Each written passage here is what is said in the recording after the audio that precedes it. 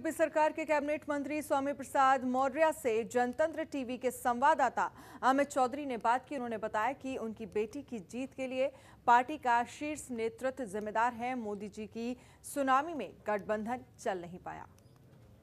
UP सरकार के cabinet मंत्री स्वामी प्रसाद मौर्य जी हमारे साथ मौजूद हैं। सर आपकी बेटी चुनाव लड़ी बधाइयों से और गढ़ कहा जाता था समाजवादी पार्टी का उस किले को ध्वस्त किया है। इसमें कोई दौरा नहीं बधाइयों जैसी लोकसभा को जीतना ये बहुत आसान नहीं था, टेढ़ी खीर थी। लेकिन चूँकि मैं संघर्ष में ही पैदा हुआ हूँ, संघर्ष के चलते ही आज इस ऊंचाई पर पाया हूँ, इसलिए किसी भी चुनौती को मैं बहुत ही सहज रूप से स्वीकार भी करता हूँ।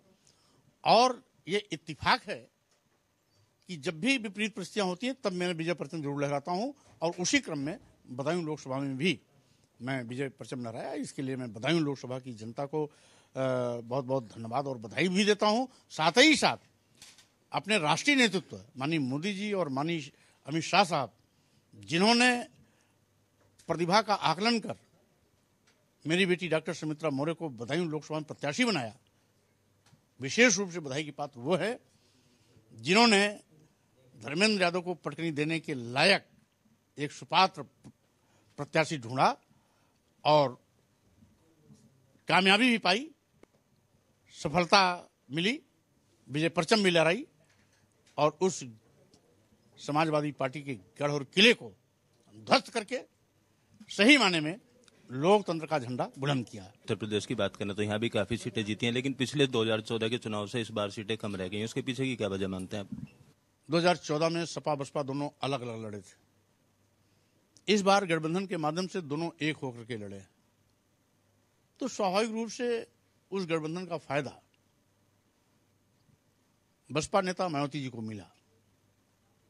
अखिलेश यादव जी तो 2014 में भी पाँच पर थे, इस बार भी पाँच पर हैं।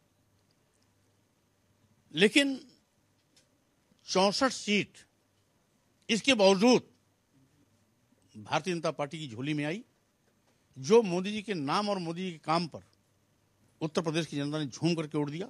अकेले अकेले लड़ते तो ज़ीरो पर आउट होते गठबंधन बनाने के बाद अपनी इज़्ज़त बचाने में थोड़ा सा ये कामयाब हुई है। उत्तर प्रदेश की बात की जाए तो पिछले भी चुनाव आपने देखे होंगे काफ़ी समय से राजनीति में। जातिगत आधार पर जो वोट है वो वोट यहाँ डलता था। इस बार जातिगत आधार पर वोट देखिए जातियाँ पहले भी थी जातियाँ आज भी वो सामाजिक संरचना है वो है और रहेगा। जाति और धर्म के मुद्दे पर राजनीति करने वाली पार्टियाँ का भविष्य बहुत क्षीण होता है अल्प होता है। एक बार राजनीति चलेगी दो बार चलेगी लेकिन बार बार जाति और धर्म के नाम पर लोगों को गुमराह नहीं किया जा सकता।